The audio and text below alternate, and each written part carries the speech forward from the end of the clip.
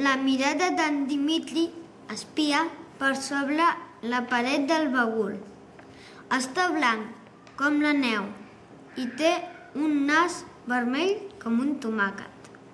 El petit espai que l'acull al seu cos es troba replegat i adolorit.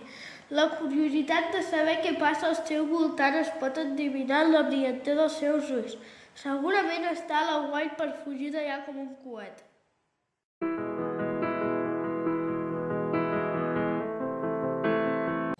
Ara veiem el Dimitri esperant pacient darrere l'escenari. Està cancot i amb els ulls tancats, pensarós, escoltant en silenci. El soroll de la gent de la sala el neguiteja i l'espanta un xic. Té unes orelles tan grans com pàmpols, un cap molt, molt, molt gros. Porta un barret d'un blau com el cel serè, que li escau d'allò més.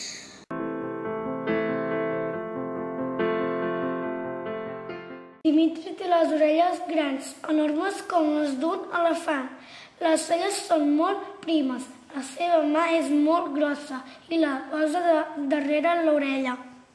Sembla com si volgués escoltar tots els petits detalls que passen al seu voltant.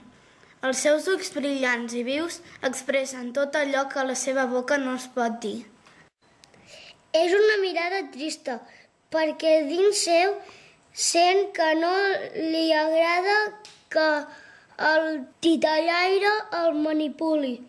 S'imagina com seria la vida si pogués ser lliure i la tristesa de no ser-ho la clapara.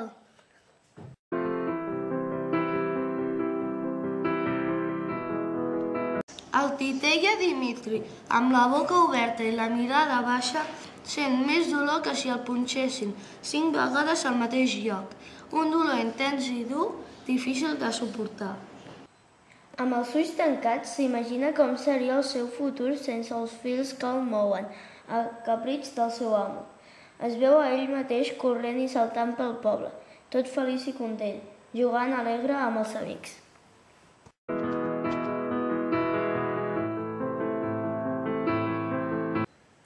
Dalt de tot del turonet de formes arrodonides i, de, i net de vegetació trobem en Dimitri capficat en la solitud dels seus pensaments. Està assegut mirant l'horitzó, pensatiu i tristoi. Al voltant seu, uns pocs arbres l'acompanyen en les seves reflexions. Sent que té un cor de veritat perquè desitja conèixer i descobrir nous llocs. Sap que a partir d'ara ja res ni ningú el podrà aturar i que només ell serà l'amo del seu destí.